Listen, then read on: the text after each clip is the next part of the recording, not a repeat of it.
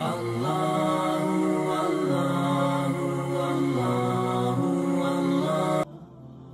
brothers, my sisters, when things happen in our lives, generally we react to these things in a specific way. A lot of the times, this way, the way we react to things that happen to us, is connected to our upbringing. It's connected to the programming of the hard drive that we have, the brain. So, as something happens, we react based on how we were taught to react. Now, for your information, the best of creation, the most noble of all messengers, we believe very firmly is Muhammad sallallahu alayhi wasallam. There is no doubt. We believe that the greatest gift that Allah has bestowed upon us is something known as Iman. Iman meaning, I believe in Allah, I believe in Rasulullah sallallahu alaihi wasallam. I utter the Shahada, La ilaha illallah, Muhammadur Rasulullah. And I bear witness that there is none worthy of worship besides Allah. And I bear witness that Muhammad, peace be upon him, is his final messenger. And that means I will follow the system and the plan of Allah subhanahu wa ta'ala. So there are so many occasions in the life of Muhammad sallallahu alayhi wasallam where things have happened and he reacted in a way that we would not react if we were faced with the same. Why? Sometimes because we lack that education, we don't know. Sometimes because we know, but we claim that we're not prophets which is actually something weak. The reason is, yes, we are not prophets, but we cannot use that statement to justify the distance between us and the method of Muhammad sallallahu alaihi wasallam. We have to make sure that we are as close as possible. And sometimes we know it. We are educated. We understand the Prophet wasallam's reactions. We know we should be reacting in a similar way, but we're not bothered. We're too lazy. Or we just feel like it's going to be tough, it's going to be hard. I don't care. And that's the attitude we develop. Now, if you look at the Quran, Allah subhanahu wa ta'ala tells us clearly about certain reactions, how to react under certain circumstances. For example, and there are many verses in the Quran, Allah says, الذين إذا أصابتهم مصيبة قالوا إنا لله وإنا إليه راجعون Allah is praising the one whom when calamity strikes the first thing he does is he says or she says inna lillahi wa inna ilayhi raji'un relating not only everything to Allah, but his or her existence as well, and that of every one of us. When calamity strikes, musiba, musiba means a problem, something that got to you that was negative. It happened to you, but it was not a positive thing. The reaction, the first reaction of a true believer is, Inna lillahi wa inna ilayhi raji'un. We indeed belong to Allah, all of us, and we indeed shall all be returning to Allah. Allah is not only the most powerful, but we belong to Him such that even if I were to come to a total end, I'm actually going back to Allah because that end is only connected to this worldly life, not to eternity. Can we ever, as mu'mineen, come to an end? Only in this world we can, but it is not connected to this world alone for a believer. The true life is actually the life after death. Reason is, on earth, we will only be living for 70 years on average. After that, you have to go. Where do you go? Back to Allah. Whether you had big problems or small problems, you still have to go back to Allah.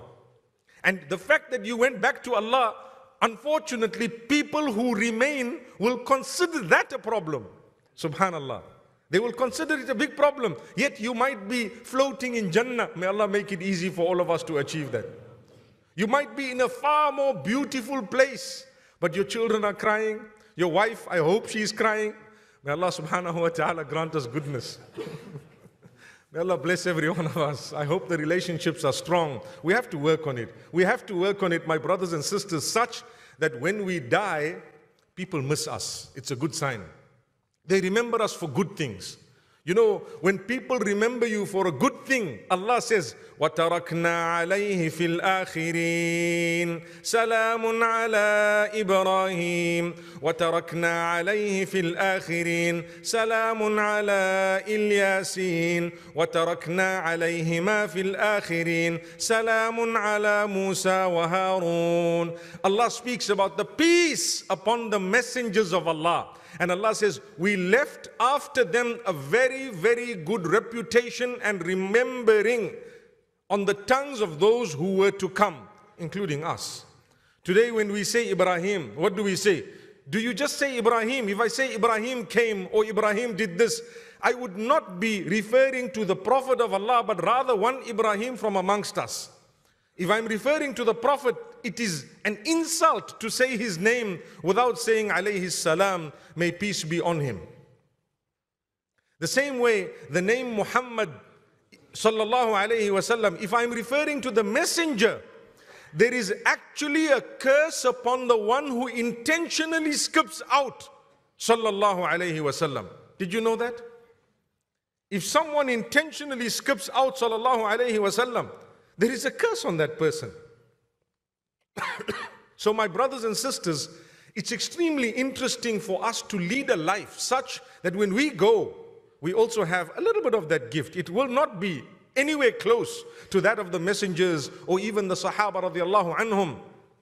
When you say the name of any companion, you must add radiallahu anhu, no matter what happened between them. We have to say radiallahu anhu, Abu Bakr radiallahu anhu.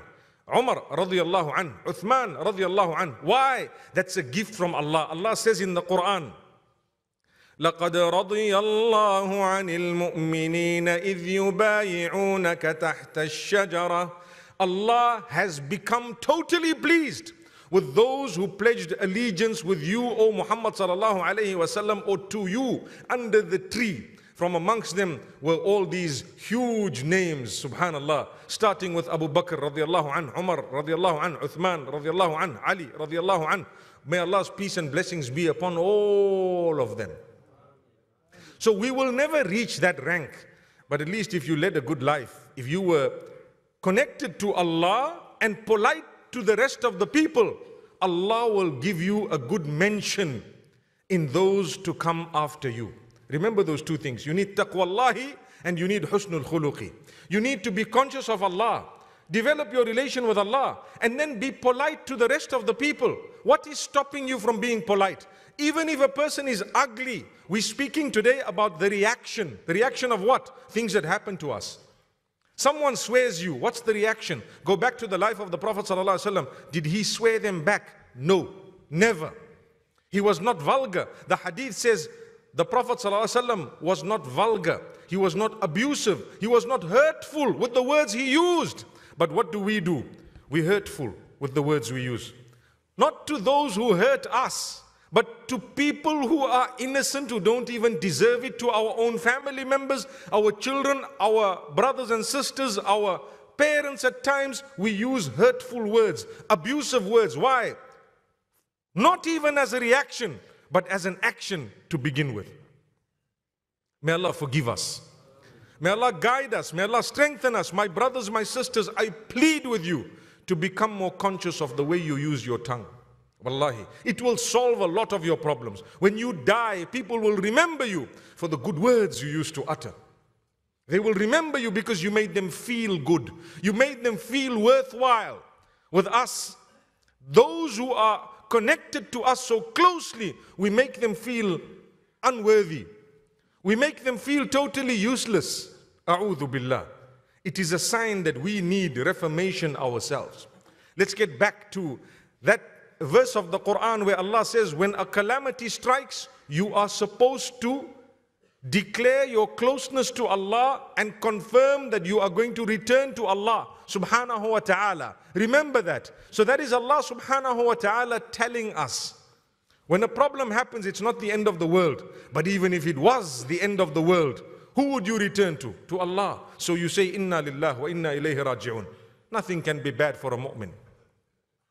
There is another way that the Prophet ﷺ has taught us to react. You know, Abu Sufyan, before he was a Muslim, he was the leader of the Meccans, the Meccan army. And prior to him being a leader, he was one of the top leaders. But after the death of Abu Jahl, etc., he became the leader. He prepared an army to come back to attack Muhammad sallallahu alaihi wasallam, and the Meccans had sent a huge army to come and attack.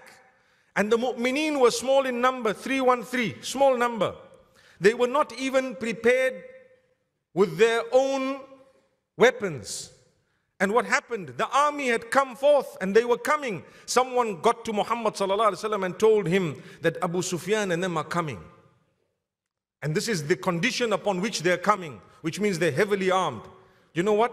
Allah mentions this in the Quran.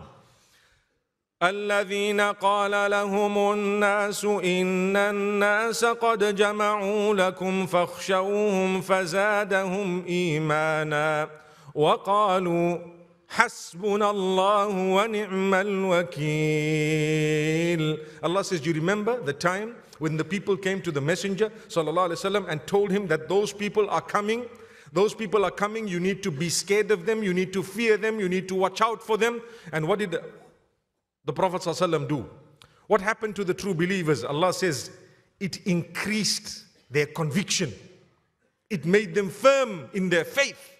And they said, Hasbunallah wa ni'mal wakil. Allah is sufficient for us and He is the best disposer of our affairs. My brothers, my sisters, when Allah closes a door for you and a second door and a third door and the fourth door, it is because the fifth door will lead you to a place way beyond the first four doors. You have to be convinced. You tried something, Allah closed the door, you came out again. You tried something, Allah closed the second door. And the third, whether it was a marriage and you ended up divorced once, twice, thrice. Some, some of the brothers and sisters, especially the sisters who've been divorced more than twice, they will tell you, I've given up. Now I'm not going to marry. Why? Perhaps the next man or the one after the next man will be such a lovely person that you'll forget about the other five characters that you were married to. Yes. But if you stop, that's where everything stops. You gave up, that's where your hope stops. You lost a job, a second one, a third. You applied one, they didn't accept it, they rejected it. One, two, three, four, five. I applied for 10 jobs. No one's giving me a job because Allah says, you know what? The 12th one is actually a mega, mega deal. Subhanallah. That's why we don't want you to get these 10. But after five, you're giving up. What's happening? You are doing something wrong. Don't react in that way. Reaction of giving up hope is not part of the dictionary of a mu'min, a believer, does not give up hope. When something happens, you suffered a loss today, a loss tomorrow. One year, business is not going right. Two years, something is going wrong. For as long as you did not give up hope and you keep thanking Allah and you keep trying, trust me, five years later, that multi-million dollar deal that people were waiting, notice I said dollars, not rands, that people were waiting for, subhanallah, came to you. But what happened the five years? You struggled. Suddenly you shot up to the top. That was Allah. Why? You reacted with hope. In the face of that, which would have brought about hopelessness to those who don't believe. Allahu Akbar. Hasbunallah wa ni'mal wakil. Allah is sufficient for me, for us, and He is the best disposer of our affairs. Allah says, the verse after that, what a beautiful verse.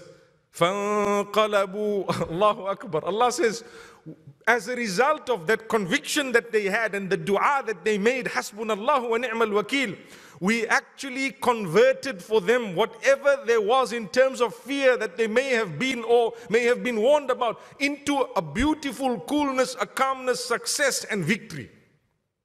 How did victory come? They reacted correctly. Let me give you another reaction in the Quran. You know, sometimes we hear some news. News is either good or bad. It's either about peace or about war. It's either about something positive or negative. Important pieces of news. How do we react? Let me tell you typically what we do. Someone says, you know what? There is, uh, okay, let me make it a bit interesting. Rather than saying something negative, you say, you desperately need butter, for example. Let's say ghee. Now, ghee, you know what ghee is, okay? Not many people know. So, you desperately need it, and someone tells you it's at one tenth of the price at the store that is across the road. What, you, what, what are you going to do? A lot of people would start forwarding messages with a good heart, with a good heart. This, I'm giving you a very light example. With a good heart, you start forwarding messages. Mashallah, it's good. But the problem is if you need it, what you've got to do is make sure you've secured your one or two tins before everybody else gets it. So you start making a move. But if you're going to announce it before you've done anything about yourself, you might sit and say, Guy, you know what? I needed it more desperately than everybody else. But they've all got it and I don't have it. Okay? That's a simple, light example. What would be the best thing to do? The best thing is make your plan, and while you're doing that, you can let the rest know. There's a time to tell the people. There's a place to tell the people. I give you a more serious example. If there is a man with a gun out there and someone sees it, there are so many ways of reacting. He can either start screaming, yelling, and then this guy takes. What happens with a thief? You ask those who know. I think here in Cape Town, people know. When someone wants to hijack a vehicle from Gatesville, he is a fool. The reason is you can't come out of Gatesville. You're not going to get out of this place. And when that happens, do you know that he will start panicking? If he has a weapon, the thieves, a lot of the times, they use these weapons when they start panicking. Okay? So if you're in the wrong place, wrong time, there's going to be crossfire. Do you understand what I'm saying? When a thief comes in, if he's armed, there's a different way of dealing with this. We're, we're fortunate, we are from Africa. That's why we taught this drill. People who are hearing this lecture, living in other countries, might be saying, What is he talking about? But it's a fact. If a man is armed, you deal with him differently. Very different. You got to make sure. He says, you say, look, take what you want. He says, look down, you look down. Look up, you look up. Things that you wouldn't even do in salah, astaghfirullah. You know, a lot of us, when Allah says, do this, do that, we don't do it. But a thief with a gun says, do it, we did it. Khalas. On the ground, you're on the ground. But five salah, we're not on the ground. Allahu Akbar. May Allah forgive us. So, you know how to react because, or you should be, because if you react wrongly, it's going to become dangerous. So if you scream and the guy panics, there's a problem. Rather, you can you, you deal with the situation. You can let one or two people know, you know a certain uncle, you know someone else, you know, you know the security of the masjid. For example, there's always security in the masjids, mostly, you know, like we say, unmarked vehicles. There are unmarked security members that are here. A lot of you might know them, some of you might not know them, but they're there. So now what happens? Subhanallah, you deal with them in a beautiful way. The problem is solved. When people come out, they heard, you know, there was a guy who tried his luck, but he was dealt with. He was dealt with. Why? Because you dealt with it and you reacted in the correct way. So Allah speaks about this in the Quran. واذا جاءهم امر من الامن او الخوف اذاعوا به you know the hypocrites allah says when news of peace security or war or uncertainty lack of security comes to them they broadcast it without thinking they broadcast it first thing they do they let the whole world know this is what happened and allah says ولو ردوه الى الرسول والى اولي الامر منهم لعلمه الذين يستنبطونه منهم had they approached the messenger sallallahu alaihi wasallam had they approached those with sound intellect, sound knowledge, with that piece of information, they would have known how to process that information and react as a result of what they heard or what they know. When you get news that is very important, you don't just broadcast it. When you get news that is serious, either way, whether it's good or bad, you don't just broadcast it. First, you ask yourself, what am I about to do? When you make a profit of a million rands, you don't broadcast it. People might become jealous. The thieves will know where to go because you broadcasted it. When you have a loss, sometimes you don't just broadcast it. Sometimes you might want to keep it within because you don't want to give an opportunity for those who dislike you to laugh and to become happy at your loss. It happens. That's why there is a dua where we are taught to say, Oh Allah, do not let our enemies become happy at our loss. Subhanallah. Don't give our enemies a chance to laugh at us. That's a dua. May Allah subhanahu wa ta'ala grant us ease. So, my brothers and sisters, to react, the Quran is telling you when something happens to you, you need to know how to react. Either inna lillahi wa inna ilayhi raji'un, hasbunallahu wa ni'mal wakil, or you need to know whether or not to broadcast that news and how and to who. Now I get to one serious matter that came to me a few days ago, two, three days ago. So, there are people who hate Islam. You know that. That hatred is based a lot of the times on ignorance. Ignorance. Because of that, they hate the Prophet ﷺ due to that ignorance. I'd like to put it at ignorance. I don't want to get it further because I've seen people who've hated and later on they became Muslim. Okay? So we don't want to say anything besides ignorance. They're ignorant. So one of the Dutch MPs, senior, senior guy in the political hierarchy, he decided to fire up something called Draw a Cartoon of Muhammad 2018, sallallahu alayhi wasallam. Right? And the competition is on. A'udhu billah. May Allah protect us and may Allah guide everyone. What will it do to us? It is provoking us. That's what it is. Provocation. Someone telling you we're going to draw dirty cartoons and it's my right to do it we tell them, my dear brother in humanity, you're making a mistake. You don't know the Messenger, وسلم. you don't know Islam. You're blaming a faith that has promoted peace over the centuries by looking at a few issues that have affected you and perhaps those around you and a few others, and you're blaming two billion people and on top of that, the messenger, peace be upon him, who brought about a lot of the goodness that we have today from Allah subhanahu wa ta'ala. I'm talking of as mankind. A lot of what we have today is taken from Islam, whether you like it or not. You might be ignorant, but it actually is. So we say, my dear brother in humanity, we'd like you to rethink that position. You are inciting and provoking people to do that which nobody on earth wants, and that is violence, that is hatred, that is enmity, that is warfare. We don't want it.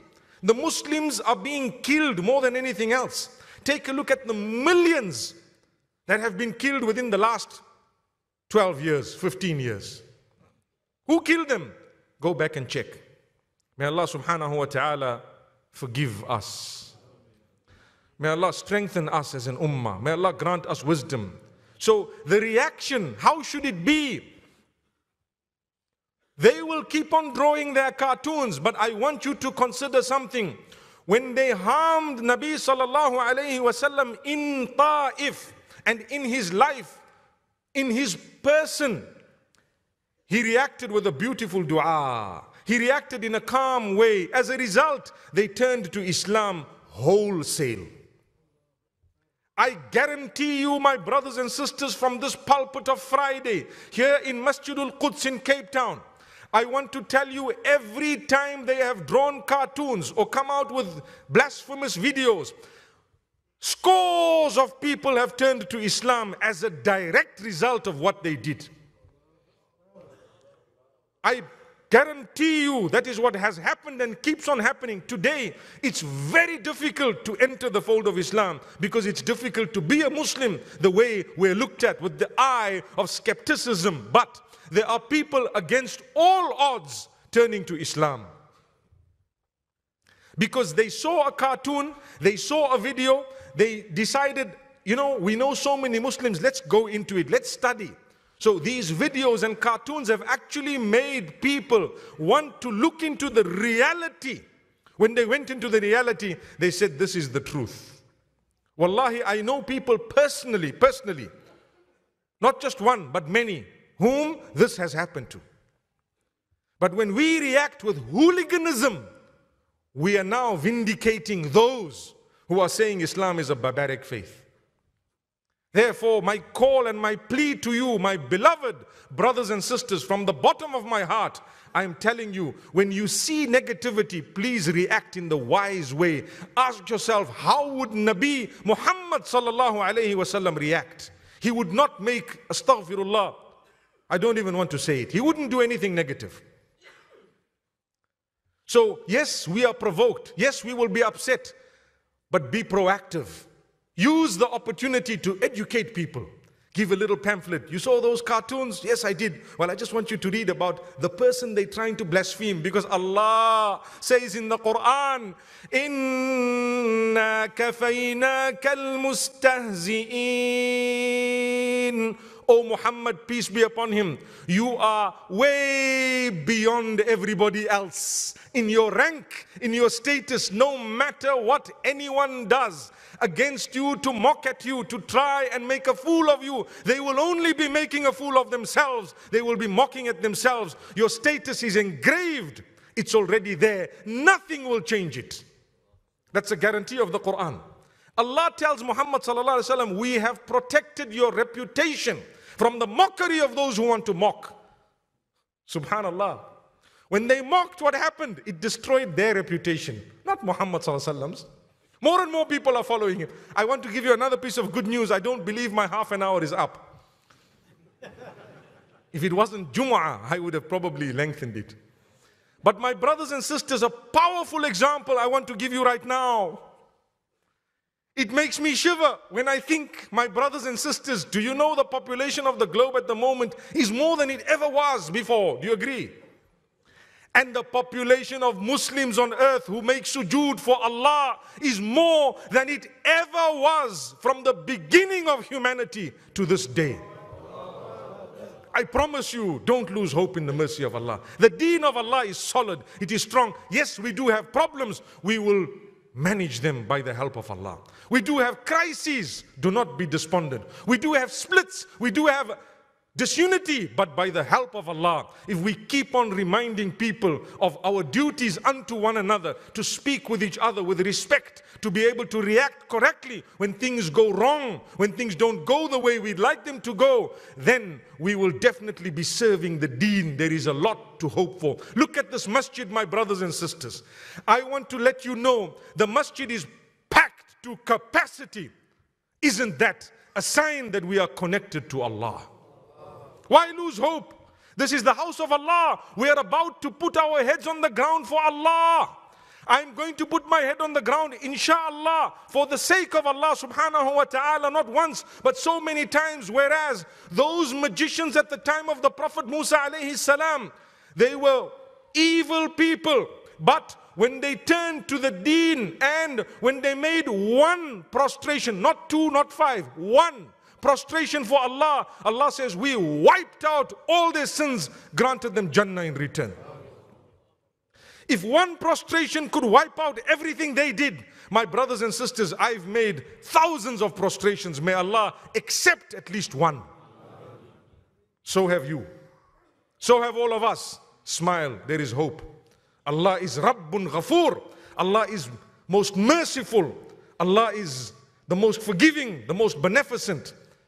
And I end off with the same statement, my brothers and sisters. Let's learn not to react in a negative way to anything that happens to us.